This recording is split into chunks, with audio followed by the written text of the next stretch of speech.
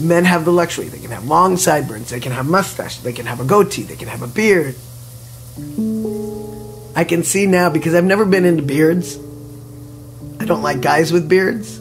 And here I am with a beard. You know, there's all sorts of ways that they can play. I didn't get a chance to do that for how many years? My always my cliche is I make a great man because I've been a woman.